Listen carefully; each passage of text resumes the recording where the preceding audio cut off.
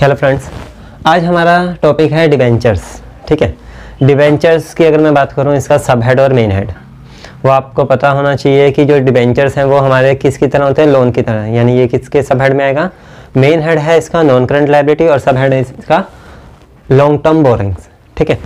आज हम पूरे जो चैप्टर है डिवेंचर्स की, पूरे चैप्टर्स की बात करेंगे, उसके कुछ टॉपिक्स हैं, ठीक है? डिवेंचर स्टार्ट कहाँ से होता है? डिबेंचर्स तीन तरह से इश्यू हो सकता है। ठीक है? एट पार पे एट प्रीमियम पे और एट डिस्काउंट पे। ठीक है?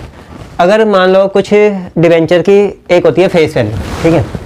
फेस वैल्यू का मतलब जितने का डिबेंचर नॉमिनल वैल्यू यानी डिबेंचर पे जो इशू किया गया ठीक है? तो उसके ऊपर जैसे कहते हैं ना, नोट कितने का होगा? जैसे सौ रुपये उस पर फेस वैल्यू होती है टेन होती है तो ऐसे ही डिवेंचर की फेस वैल्यू अगर कुछ नहीं मेंशन तो हमेशा कितनी एज्यूम करते हैं? हंड्रेड और जो शेयर की होती है वो कितनी? टेन तो अब एग्ज़ाम्पल के थ्रू अगर हम समझें, मान लो मेरी कोई चीज़ है, ठीक है? किसी को बेचनी है या किसी को देनी है तो मेरे पास तीन ऑप्शन हैं, ठीक है? मान लो वो सौ रुपये की चीज़ है तो मैं उसको सौ रुपये में भी किसी को प्रोवाइड करवा सकता हूँ, ठीक है? दे सकता हूँ। उससे कम में भी दे सकता हूँ और उससे ज़्यादा में भी दे सकता हूँ। तो वही तीन केस यहाँ पे हमने नाम दिए। एट पार का मतलब फेस वैल्यू पे इशू करना। ठीक है? एग्ज़ाम्पल यानी कितने में इशू कर रहे हैं? हमारा जो इशू प्राइस है। ठीक है? वो कितना है? यहाँ पे सो। और फेस वैल्यू सब में क्या है? सो। तो जितनी फेस वैल्यू अगर हम उतने में ही इशू करते हैं उसको बोलते हैं हमने जो डिबेंचर इशू किया वो किस पे इशू किया? एट पार पे। अब आते हैं एट प्रीमियम का मतलब क्या है? यानी फेस वैल्यू मेरी अभी भी कितनी है? सो। so, मगर मैंने इशू जो इस बार इशू प्राइस रखा, वो उससे क्या रखा? Issue price greater than face value ठीक है? अब वो कितना भी ग्रेटर देन हो सकता है। एग्जाम्पल्स मान लो फेस वैल्यू मेरी सौ है, ठीक है? और इशू प्राइस मान लो मैंने यहाँ 105 ले लिया 110 ले लिया 120 यानी 100 से ऊपर जितना भी मैं इशू कर रहा हूँ, वो मेरा क्या बन जाता है? प्रीमियम अब आते हैं डिस्काउंट ठीक है? डिस्काउंट का मतलब यहाँ पे क्या होगा? इशू प्राइस जो मेरा है, वो फेस वैल्यू से कम है। यानी एग्ज़ाम्पल सौ रुपये की फेस वैल्यू तो उसको जो मैं इशू कर रहा हूँ, या तो 90 में इशू कर रहा हूँ, या 95 में इशू कर रहा हूँ, यानी अपने फेस वैल्यू से कम में इशू करना, उसको कहते हैं, मैं जो डिबेंचर इशू कर रहा हूँ एट डिस्काउंट अब आते हैं जो डिबेंचर इशू हो सकते हैं, वो दो तरीके से। नंबर वन लमसम मेथड ठीक है? लमसम मतलब एक साथ इशू कर देना। एग्ज़ाम्पल जो सौ रुपये की जो फेस वैल्यू है, सब जितने भी मैंने डिबेंचर्स इशू किए, उनसे सारा पैसा एक बार में मंगवा लेना। उसको बोलते हैं लमसम मेथड ठीक है? और दूसरा होता है इंस्टॉलमेंट इंस्टॉलमेंट का मतलब टुकड़ों में मंगवाना। ठीक है? तो अगर मैं लमसम मंगवाता हूँ तो मेरी नॉर्मली दो एंट्री होंगी। एक होगी एक ड्यू की और एक होगी रिसीव तो उसको जो नाम दिए जाते हैं, अगर मैं लमसम मंगवा रहा हूँ तो उसकी जो जर्नल एंट्री होगी, वो कुछ ऐसी होगी। जनरल एंट्री अब लमसम में भी कितने केस वही तीन केस एट पार पे हो सकता है प्रीमियम पे और डिस्काउंट पे। अगर मैं जर्नल एंट्री की बात करूँ, अगर एट पार पे है तो पहली एंट्री किसकी? रिसीव की। तो एंट्री होगी हमेशा बैंक अकाउंट डेबिट क्योंकि जब मैं मैं रिसीव करवाऊँ तो क्या आएगा? बैंक में पैसा आएगा, ठीक है? तो बैंक अकाउंट डेबिट टू क्या इशू कर रहा हूँ? डिबेंचर एप्लीकेशन एंड अलॉटमेंट यानी जब भी एक साथ पैसा मंगवाओगे लमसम में तो किस नाम से? दोनों। एप्लीकेशन एंड अलॉटमेंट एक साथ मेंशन करेंगे। अब इसमें एग्जांपल इसी का मान लो ले लेते हैं कि मैंने सौ रुपये का डिबेंचर कितने में इशू किया? सौ। तो यानी मेरे पास जो पैसा आएगा वो कितने रुपये आएगा? एक डिबेंचर पे। हंड्रेड रुपीज़ तो यहाँ पे अमाउंट हो गया। अब इसकी सेकेंड एंट्री किसकी? इसको मैं ड्यू एंट्री भी बोल सकता हूँ या ट्रांसफ़र एंट्री भी बोल सकता हूँ। तो एंट्री जितनी भी ट्रांसफ़र की एंट्री बनेंगी, वो उसमें जिसको मैं ट्रांसफ़र कर रहा हूँ वो डेबिट हो जाएगा। यानी debenture application and allotment account debit to percentage debenture ठीक है?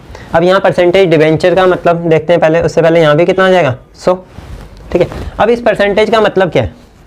इसको बोलते हैं, इसके आगे जितना भी रेट ऑफ़ अमाउंट होगा टेन परसेंट नाइन परसेंट ठीक है? उसको बोलते हैं रेट ऑफ़ इंटरेस्ट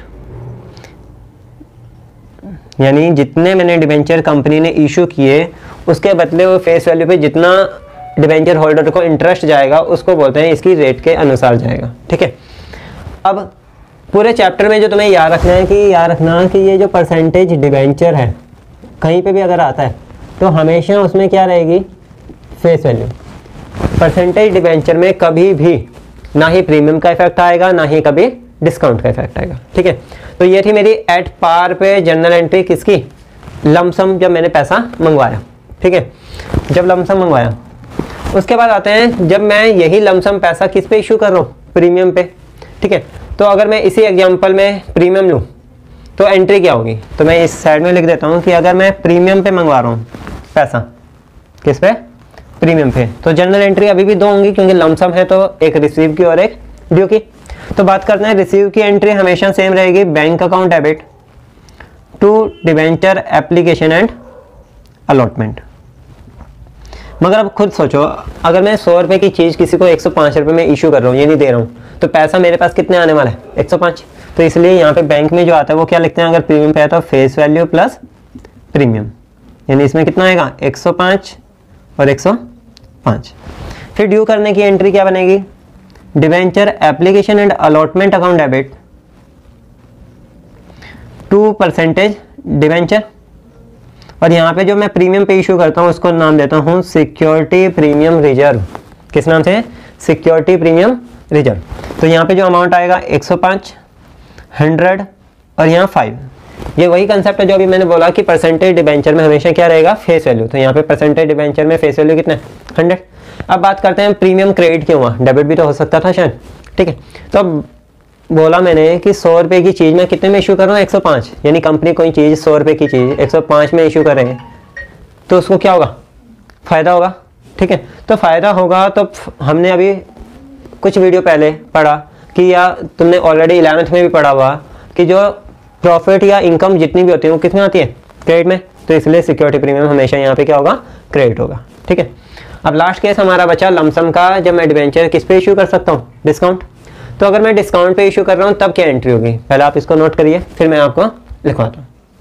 हो गया होगा नोट अब बात करते हैं लास्ट केस लमसम में कि मैं डिवेंचर किस पे इशू कर रहा हूँ? डिस्काउंट तो अगर मैं डिस्काउंट पे इशू करता हूँ तो तब भी दो एंट्री लमसम में number one bank account debit to debenture application and allotment ठीक है? मगर इस बार जो हमारा जो अमाउंट आएगा बैंक में, सौ रुपये की चीज़ अगर मैं किसी को नब्बे रुपये में इशू करूँगा तो पैसा कितना देगा वो? Ninety rupees. तो इसलिए यहाँ पे नाइन्टी नाइन्टी आएगा। यानी अगर मैं ब्रैकेट में लिखना चाहूँ तो क्या लिख सकता हूँ? Face value minus discount. यानी डिस्काउंट हमेशा क्या होगा? माइनस और प्रीमियम हमेशा क्या होगा? Add back second entry debenture application and allotment account debit. और यहाँ पे डिस्काउंट जो है वो कंपनी के लिए क्या है? लॉस। तो इसलिए यहाँ पे डेबिट होगा डिस्काउंट ऑन इशू के नाम से। ठीक है? टू परसेंटेज डिवेंचर अब देखो, अब धीरे धीरे जब कंसेप्ट बढ़ते हैं तो कहीं ना कहीं शायद डाउट आने लग जाते हैं। तो तुम बस इस पे फोकस रखना कि हमारी परसेंटेज डिवेंचर में हमेशा क्या रहेगी? फेस वैल्यू ठीक है? तो यहाँ पे मैं बिना सोचे समझे बोल सकता हूँ कि यहाँ पे कितना आएगा? हंड्रेड क्योंकि मेरी फेस वैल्यू कितनी है? हंड्रेड डिस्काउंट मैंने दिया उसको दस रुपये का। और ये जो नब्बे आया, वो यहाँ से भी ट्रांसफ़र कर सकते हो। या फिर सौ में से दस गया, तब भी कितना आएगा? नाइन्टी ठीक है?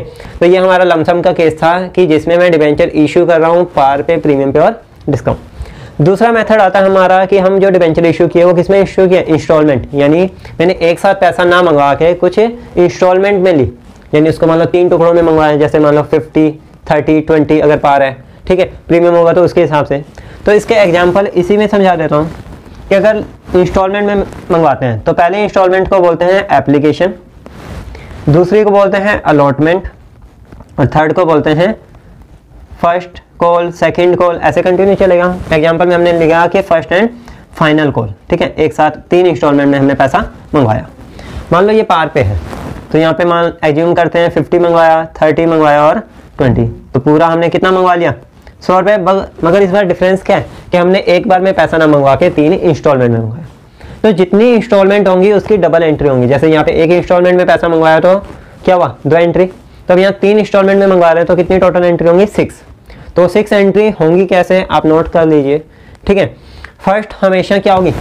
रिसीव की एंट्री फिर इसको क्या करेंगे? ड्यू मगर जितनी भी उसके बाद एंट्री होंगी, पहले क्या होंगी? सारी ड्यू फिर होंगी रिसीव ये भी ड्यू पहले एंट्री फिर रिसीव ठीक है? तो रिसीव की एंट्री अब मैं इसको पूरा नहीं समझा रहा, ठीक है? आपको एक मेन लॉजिक यानी एक मेन एंट्री बता रहा हूँ, जितनी भी रिसीव होंगी वो भी सब कॉमन रहेंगी और जितनी डी होंगी वो भी कॉमन तो आप उसके हिसाब से एंट्री इसको करके दिखाइए। मैं बोल रहा हूँ रिसीव की जितनी भी एंट्री होंगी, उसमें हमेशा क्या डेबिट होगा? बैंक क्योंकि पैसा आएगा। और जिसको ड्यू कर, जिससे पैसा आ रहा है एग्ज़ाम्पल एप्लीकेशन का अलॉटमेंट का या फ़र्स्ट एंड फाइनल वो क्या चला जाएगा? क्रेडिट में। तो यानी यहाँ पे क्या लिख सकता हूँ? डिबेंचर एप्लीकेशन के टाइम पे एप्लीकेशन, ठीक है? जब इसकी रिसीव की एंट्री करवा, जब ये फोर्थ एंट्री करवा तो क्या लिखूँगा डिबेंचर अलॉटमेंट और जब मैं लास्ट एंट्री करवा, तब क्या करवा? Debenture first and final call के नाम से, ठीक है? तो यानी जितनी भी रिसीव एंट्री होंगी, उसमें बैंक डेबिट होगा और टू जिसका पैसा रिसीव कर रहा हूँ वो। फिर आते हैं ड्यू की एंट्री तो ड्यू में जिसको मैं ड्यू कर रहा हूँ, ये जो, यानी जो क्रेडिट में लिखा, वो सारे क्या हो जाएँगे? डेबिट अगर मैं एप्लीकेशन को ड्यू कर रहा हूँ तो डिवेंचर एप्लीकेशन डेबिट अलॉटमेंट को ड्यू कर रहा हूँ तो allotment debit first and final को ड्यू कर रहा हूँ तो फ़र्स्ट एंड फाइनल को डेबिट और टू ड्यू में हमेशा जितनी भी एंट्री है, यहाँ पे देख लो बेशक परसेंटेज डिवेंचर अगर क्वेश्चन में उसकी रेट गिवन है तो रेट लिख देंगे, नहीं तो क्या लिखेंगे? एक्स परसेंट डिवेंचर या परसेंटेज डिवेंचर अकाउंट ठीक है? तो अब यहाँ पे जितनी भी हैं, अगर पार पे है तो 15 टू जो भी नंबर ऑफ़ डिवेंचर्स होंगे, उससे मल्टीप्लाई हो जाएगा. यहाँ पे ज़रूर ध्यान रखना, यहाँ पे हमेशा क्या रहेगी? फेस वैल्यू अब आते हैं, इन केस में क्या होगा? मान लो प्रीमियम है या फिर डिस्काउंट है। तो याद रखना, अगर प्रीमियम इन सब में किसी के साथ मेंशन है तो अच्छी बात है। क्वेश्चन में गिवन होगा। अगर मेंशन नहीं है तो बाय डिफ़ॉल्ट हम किसके साथ लेंगे? अलॉटमेंट ठीक है? तो अलॉटमेंट यानी प्रीमियम सेम कंसेप्ट यही है कि प्रीमियम हमेशा क्या रहेगा? क्रेडिट में रहेगा और डिस्काउंट हमेशा डेबिट में। तो वो भी किस एंट्री के साथ? ड्यू के एंट्री के साथ। तो यानी यहाँ जिसके साथ भी प्रीमियम होगा तो वो कहाँ चला जाएगा? टू सिक्योरिटी प्रीमियम अगर डिस्काउंट है तो वो क्या हो जाएगा? डेबिट तो ये हमारा debenture of issue of debenture का फ़र्स्ट टॉपिक है, जिसमें ये तीन केस आते हैं लमसम में या फिर इंस्टॉलमेंट में, ठीक है? उसके बाद सेकंड टाइप आएगी हमारे पास जो हमने डिवेंचर इशू किए। ये तो किसमें इशू कर रहे हैं? कैश फिर अदर देन कैश भी तो मैं इशू कर सकता हूँ ना? एग्ज़ाम्पल मान लो कोई दुकानदार है, ठीक है? वो अपना सामान कैश में भी बेच सकते हैं, ठीक है? या फिर मान लो किसी से कोई चीज़ सामान ले लिया एग्ज़ाम्पल कोई बिल्डिंग परचेज करी, उसके बदले में कुछ दे दिया, वो भी कर सकता है। तो सेम यहाँ पे भी कंसेप्ट रहेगा कि जो मैं डिवेंचर इशू किए, अभी तक किसमें इशू किए? कैश यानी बैंक के थ्रू ठीक है? अब जो हमारा जो अगला टॉपिक है, वो क्या है? Debenture issued other than cash other than cash का मतलब इन काइंड्स काइंड्स में इशू करूँगा ठीक है? तो आज की वीडियो में इतना है। नेक्स्ट वीडियो में हम उस टॉपिक को पढ़ेंगे, ठीक है?